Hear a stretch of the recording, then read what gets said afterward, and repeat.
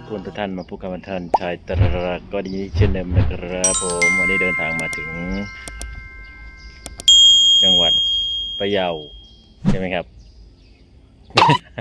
ลำปางนั่นเองฮะนี่ก็มาถึงที่พักกันที่เรียบร้อยแล้วนะครับ ผมนี่ครับวิวสวยฮะ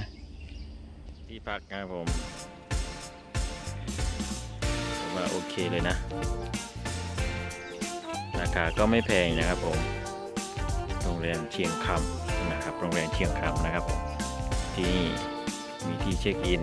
ข้างๆก็จะเป็นภูเขานะครับนี่ข้างหน้าตรงนี้ฮะก็เป็นที่ register หรือเช็คอินตรงนี้ได้มุมสวย อากาศลมเย็น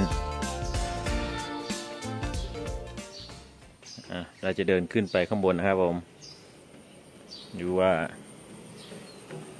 มาเช็คตากอากาศข้างบนนะครับผม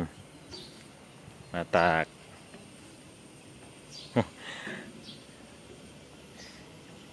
นี่ครับ ที่เดินขึ้นมาเมื่อกี้เนี่ย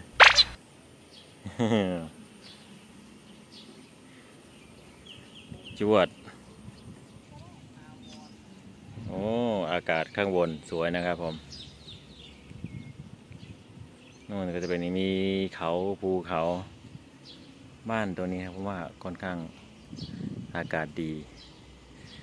สมาชิกครับผมที่มาด้วยกันโอ้สุดจัดปลัดต้องบอกแล้วครับผมตอนนี้ก็นอนพักผ่อนนะครับผมดวงตาอากาศ แก้ว นั่งนอนสูบบรรยากาศเย็นๆประมาณห้าโมงเย็นนะครับตอนนี้